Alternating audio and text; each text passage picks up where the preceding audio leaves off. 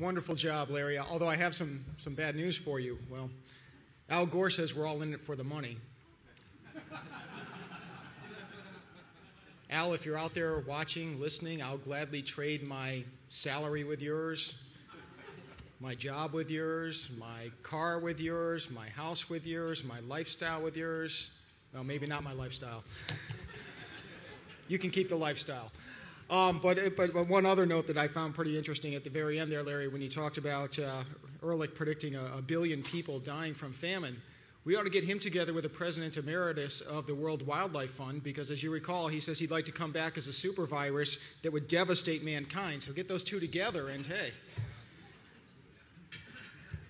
Our next speaker is the executive director of the International Climate Science Coalition.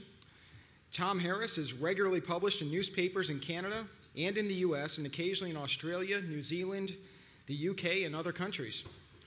He is often interviewed on radio and television. He is past executive director of the Natural Resources Stewardship Project. And for the past three years, he has taught climate change and earth sciences perspective, which is a second year course in the Faculty of Sciences at Carleton University in Ottawa, Canada. Very prolific writer, my friend Tom Harris.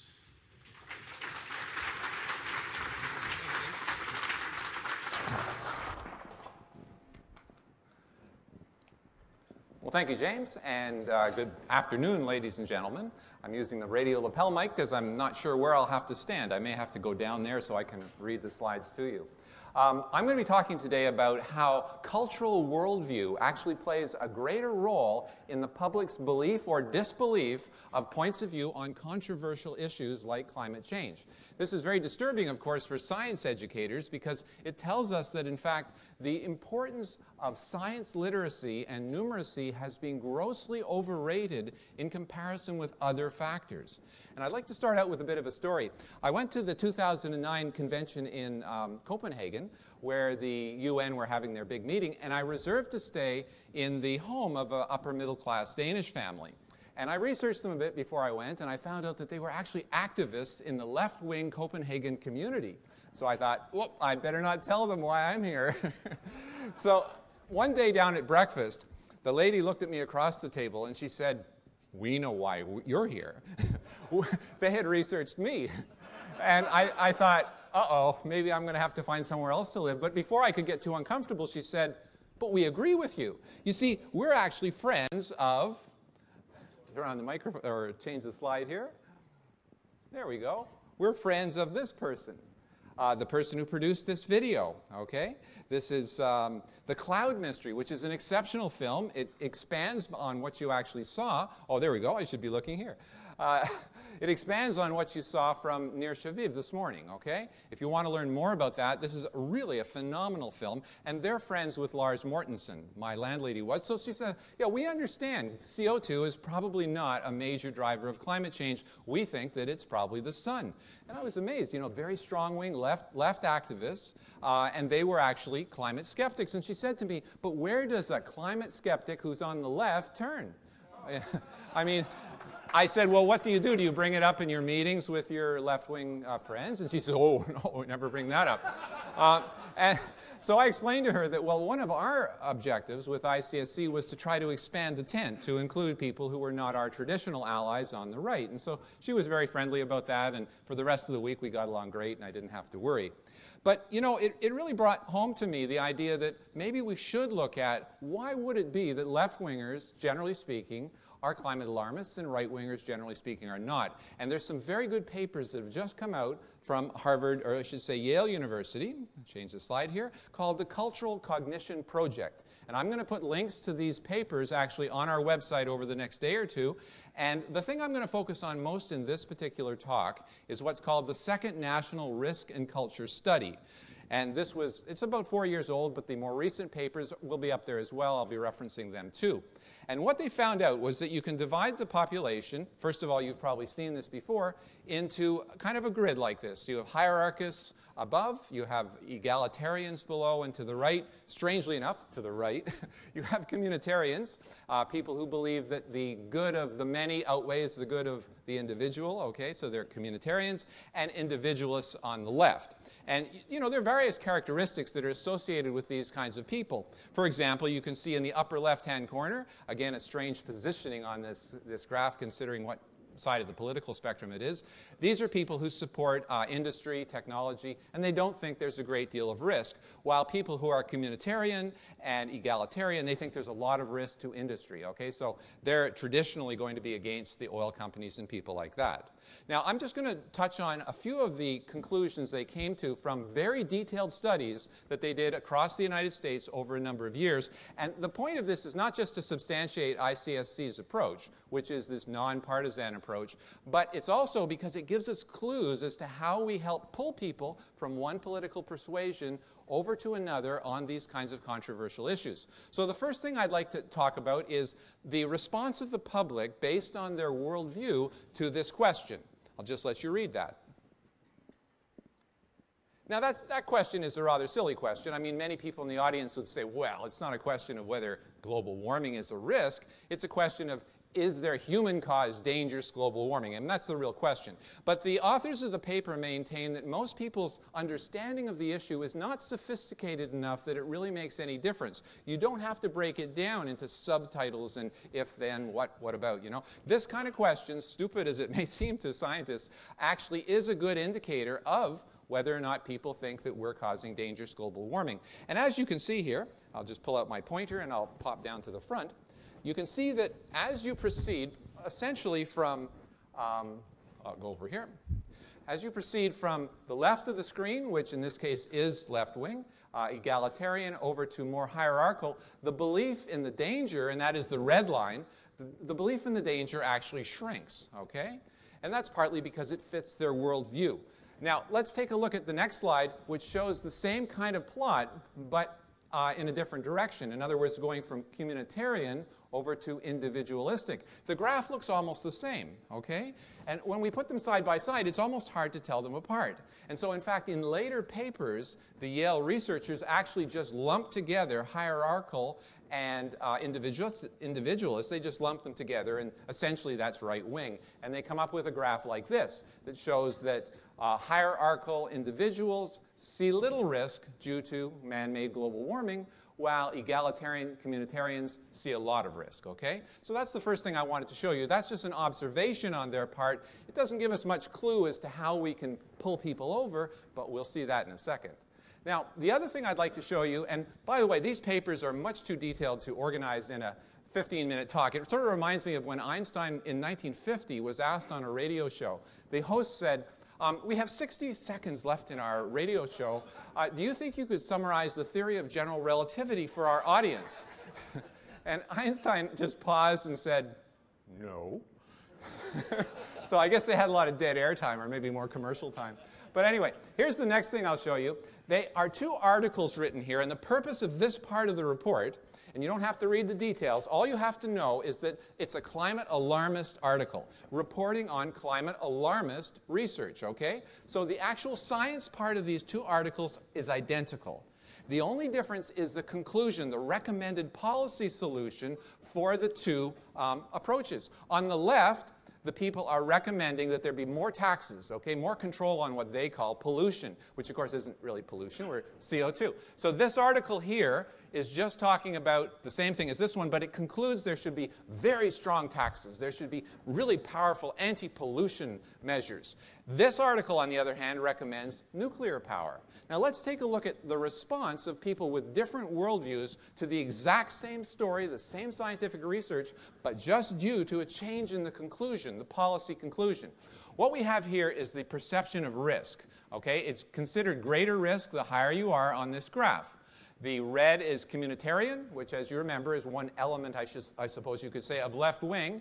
And the dotted blue are individualists. And this is the control before they're given the article, okay? Then they're given the article and they're asked the question how dangerous is human caused global warming? And look at this. The communitarians think that the anti pollution article proves that it's obviously very dangerous. But when they're told, but the solution is nuclear, oh, well, maybe it's not quite so dangerous. and similarly down here, the individualist, hierarchical people, who actually in this case individualists, who don't like seeing government interference in things, they feel after they've read the article, different conclusions, same data, that in fact the risk of global warming caused by humans is really actually less. It's not that serious after all. And when they're told it's nuclear power, which a lot of them support, big industry, it's man's mastery over nature, oh, well, then maybe there is more risk, okay?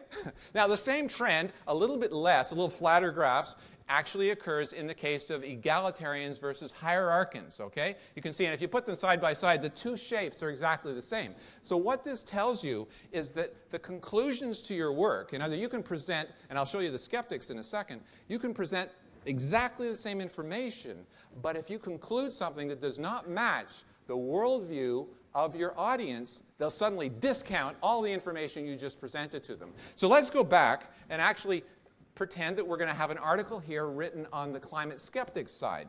Okay, the climate skeptics, they're presenting all the data of Nir Shaviv or Fred Singer, and they're showing, therefore, that we probably don't have a CO2 driven climate catastrophe. But let's say the conclusion of the article on the left was, eh, so don't do anything. Okay? I don't know how many left wingers would just support you then. but regardless, let's say the conclusion on the right was therefore we have to help the poor of the world adapt to climate change. We really must help these people, okay, because they're desperate. They need our help. Look at the, the Sahel in, in East Africa or West Africa. Well, what they would find is exactly the same shape curve, okay? Uh, and and that's, that's really amazing because it really tells you that you actually have to give a little bit to, to your opponents from a worldview point of view if you're to pull them over to climate realism. Um, by the way, this sort of thing would also work if the solution uh, that they proposed for the alarmists was things like uh, geoengineering. Okay, if that was the solution, you'd find a lot more people on the uh, individualistic and hierarchical side would support that the data was correct. Now, the next thing I'm going to talk about is um, get through here the different types of worldview of the advocate actually matters too. It's not just the audience, but the actual worldview of the advocate. And I'll just quickly identify a few people here. This conservative looking fellow up here, and this guy down here is, well, perhaps not conservative.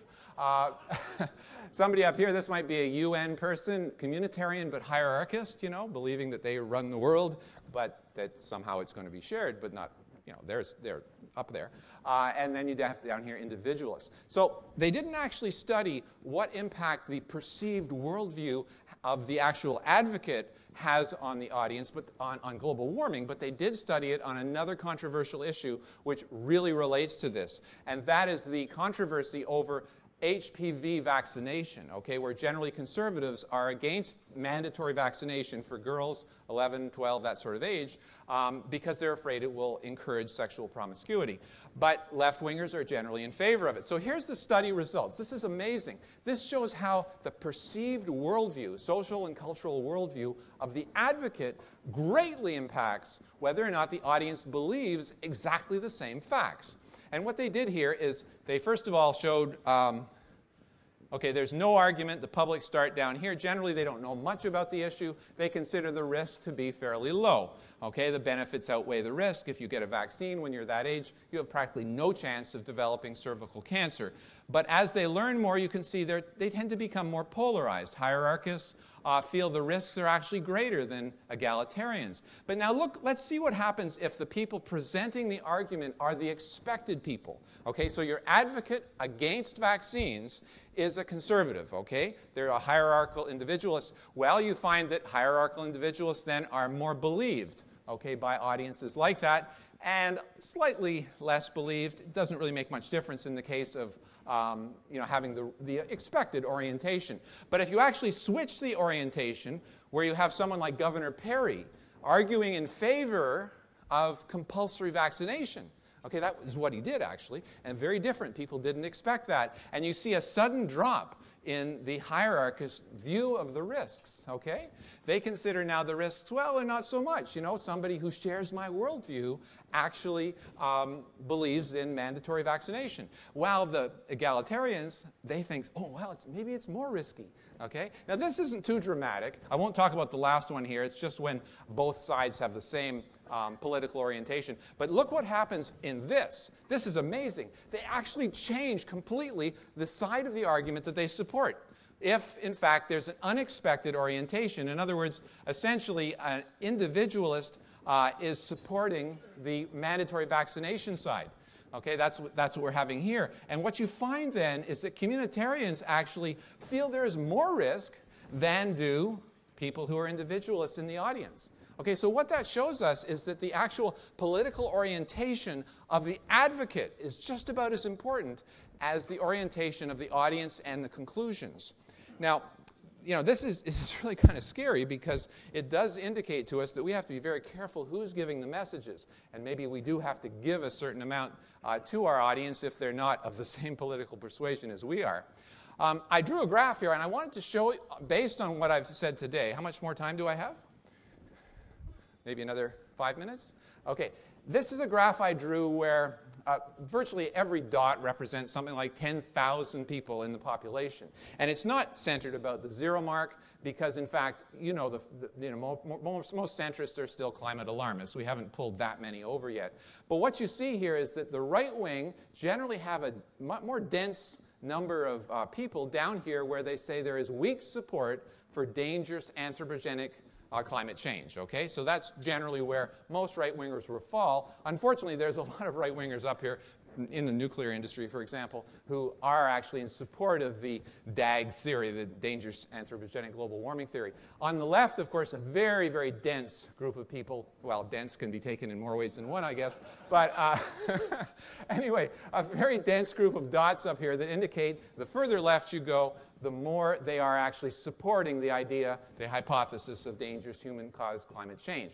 Now, based on what I was just explaining to you, um, let's look at what kind of a target audience you should be choosing if you're trying to convince people of a point of view um, if you have a particular orientation in your organization? Well, first of all, I would say that strongly capitalist advocates are totally wasting their time talking to people on the far left, maybe even in the center. Okay, this is their target audience. Now, this is important because you've got to notice that many of the right wingers are still up in the climate alarmist area. Okay, so that's a very important target area I would suggest for people like CEI. Okay, uh, they, I'm sure they already do this, but there are a lot of right wingers, industrialists who support the um, climate scare, and they are obviously a very receptive audience to somebody from CEI. Now let's look at a next group, moderately capitalist advocates. Okay, they can expand a bit further to the left. They might not be hard enough for people on the far right, but they would have this kind of an audience. These people already agree with them. This group up here are people to be convinced, okay? And people you have a good chance of convincing because you share their worldview. Um, politically neutral and nonpartisan advocates, I wouldn't say they can center right on zero because it's still considered right wing, no matter how nonpartisan you try to be, which we're trying to be, uh, we're still considered right wing by a lot of people. We purposely put out more press releases criticizing the conservatives, not only because they're the government uh, and they hold the, the you know, the, the, the strings to the purse, but also because we're trying to undo the idea that we are right wing, okay? We are nonpartisan. And we see our audience as, as actually quite big, and that's the approach that we're taking, okay? Now, just to whet your appetite to look at the rest of these papers, I want to show you something that'll make you very happy, but also something that'll surprise you. This graph asks the question, or this survey, it's a general population question. I haven't divided it up into kinds of audience or kinds of advocates. They just said, how much risk do you believe climate changes poses to human health, safety, and prosperity. And the happy thing about this graph is that as people learn more, as they become more scientifically literate, they become a little bit less alarmist. Okay, that's a good thing to hear. It tells us that yes, there is a role to be played in science literacy. It's just not as strong as we thought, and we have to consider other factors. But this is the interesting comparison between hierarchical individuals and um, egalitarians. Take a look at this. Um, as they learn more, these people, hierarchical individualists, they actually become more and more skeptical. That's not surprising. It's supporting their worldview. Similarly, up here, egalitarian communitarian, they become more and more alarmist. Okay? Now that's a problem. Do you, do, what do you do? Do you not want to educate the people on the left then because they're going to become more alarmist when you do that? What we'd like to see is we'd like to see something like this. This is a question about how dangerous is nuclear power. And if Jay, uh, Jay Lehr is here, I'm sure he'll be very happy to see this because on both sides of the spectrum, both left and right, the more they learn about science, as their science uh, literacy increases, the less risk they feel is posed by nuclear power. And that, that's a very good finding. There's one bad aspect of this graph, and that is that it, despite the fact they're both dropping, it actually becomes more polarized. In other words, the difference between opinion actually increases. so, what I would suggest is that when you're looking at these papers, the real target of using this research, and I find it really exceptionally good research, and, and they, the authors answer questions, okay? They didn't know which side of the spectrum I was on. Uh, I think they were assuming that I was on the other side, but regardless, um, they're very good. They answer quite quickly if you have questions. How does it apply in this circumstance or whatever? But I think what we're shooting for here basically is to draw these two not only both down, like in the nuclear case, but to also um, bring them closer together. So there's less polarization, okay? There's less difference between people of differing worldviews. So that's our goal. And if you'd like to learn more, this is where you go. Our homepage will be putting up two things the papers, there's about five papers that detail this information, and also there's an hour long presentation by a really excellent science journalist by the name of Jay Ingram, where he goes into all kinds of details about how scientific literacy does help, but nowhere near as much as the social position of the audience or the advocate. So it's very new research, some of it as recently as this year, and I recommend you go have a look.